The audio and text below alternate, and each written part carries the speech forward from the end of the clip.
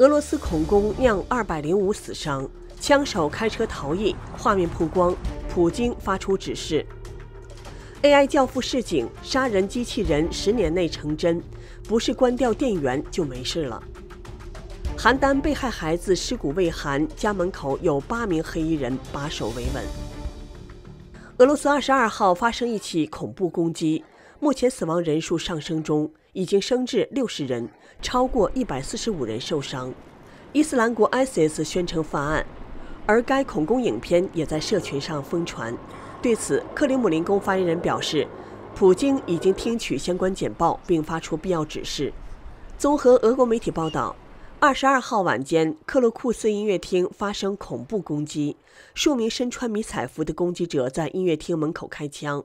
进到音乐厅后，继续朝厅内观众无差别的开枪扫射，尖叫声不断，同时丢了手榴弹，引发建筑物燃烧起火。据悉。枪手在犯案后搭乘一台白色雷诺逃离，这可能是俄罗斯近年来发生最严重的恐怖攻击之一。网传视频显示，当时音乐厅正准备举行老牌乐团野餐的摇滚音乐会。据最新数据指出，受伤的一百四十五人中，其中六十人伤势严重，死者的尸体正在接受检查。不幸的是，受害者的人数可能还会增加。调查委员会指出。包含武器、弹药在内的物证都已在犯罪现场缴获，所有必要的检查，包含 DNA、弹道、指纹等，都在进行中。克里姆林宫发言人佩斯科夫表示，普京在事件发生的第一时间就已得知消息，目前正在透过有关部门和各机构听取简报，并发出必要的指示。俄罗斯联邦安全会议副主席。前总统麦维德夫誓言要血债血还。他称，所有这些人都必须作为恐怖分子被追查并无情消灭。有消息称，普京会发表电视讲话，但目前还不清楚具体时间。随着 AI 的不断发展，用它来赚钱的人越来越多。还有一类 AI 的账号也同样风靡，就是难辨真假的数字洋人，在镜头面前呢，分享一些心灵鸡汤和老年的生活方式。等到粉丝数量足够多以后，他们就会开始带货，而面向年轻人的 AI 颜值博主、种草博主也开始大批量的出现。AI 女博主的人设呢，可以是宝妈、是名媛，也可以是女学生；而男博主呢，则是精英、运动员、男学生。他们伪装成正常的账号，每天模仿着真人更新，让很多人真的是难辨真假。而事实上啊，只要是有一点素材，再通过 AI 的合成软件，就可以生产出各式各样的充满异国风情的美女。就比如博主泽倩，她以分享个人自拍为主，视频的风格呢虽然是非常的单调，但却因为高颜值收获了四十多万的粉丝。而她最受欢迎的一条视频呢，是获得了一百八十多万个的点赞。一条高赞的评论写着：“好不容易心动了，你却告诉我它是 AI。”目前这个账号并没有把自己标注为 AI，但平台呢已经给出了提示，显示疑似 AI 合成，注意甄别。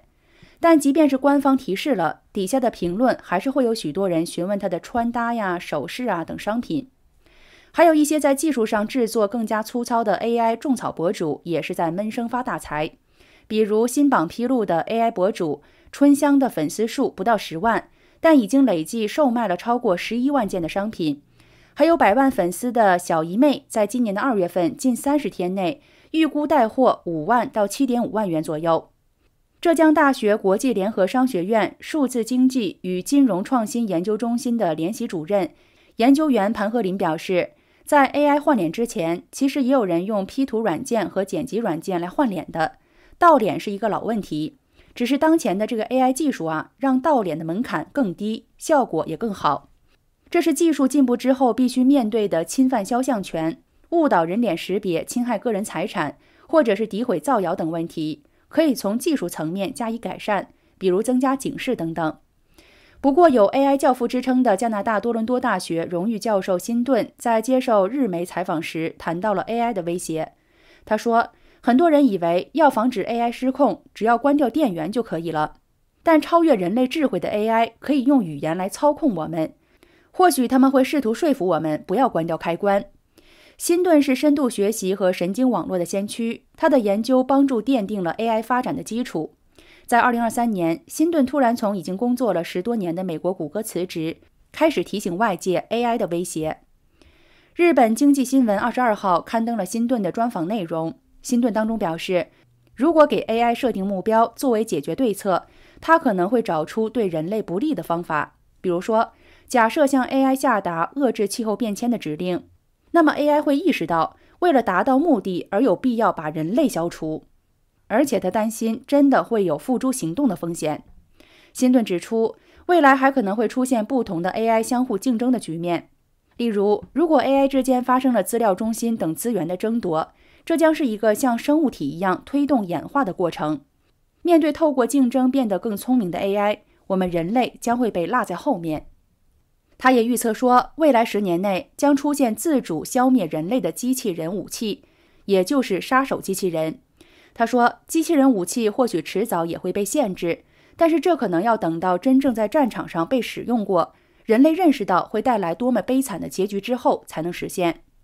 辛顿还提到说，如果从主观经验这个角度来说明，他认为 AI 可以拥有和人类一样的感觉。他说，人类也会经历与客观事实不符的事件，例如我喝了很多酒，早上醒来的时候呢，眼前因为幻觉而出现了粉红色的小象，我不会相信小象的存在，而会是认为自己的感知系统没有正常的运作，因此这只是内在的经验。他说，透过相机收集视觉讯息的 AI 也可以产生同样的情况，例如把物体放在相机前，用棱镜使光线弯曲，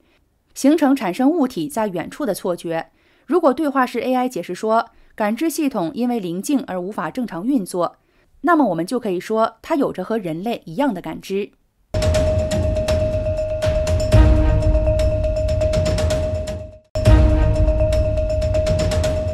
邯郸学生被同班的三名同学残忍的杀害埋尸事件震惊了全国。邯郸被害的孩子王子耀的尸骨未寒，案件还没有审判，中共就已经开始维稳受害人的家属了。据推友的爆料，三月二十一号，河北邯郸一位自称是遇害者王子耀舅舅的用户说，他的两个手机的电话号码都已经被封掉了。昨天通讯公司的人过来我们家了，把我们家的信号给屏蔽掉了，怕我们乱发信息。此时此刻，家门口起码有八个人在值班，不让任何人靠近。一则视频显示，有多个不明身份的人士站在王子耀的家门外。有网友表示，这就是集权专制政体的制度之恶，只能唱赞歌，不能哭冤情，也就不奇怪包公祠都被哭关门了。也有的网友表示，这个案件唯一值得庆幸的一点是，现在杀人罪的入刑年龄下调到了十二岁，否则这三个小孩就会被直接释放。还有的网友表示，估计有人盯上了那个小孩的器官了。至于那三个人，可能只是替罪羊，再把尸体毁了，少个器官也看不出来。另外，还有网友意味深长地感叹说：“小时候老师说国家强大了就没有人欺负我们了，长大以后才知道国家强大了就没有人敢救我们了，到老了才知道国家强大了就用维稳来对付我们了。”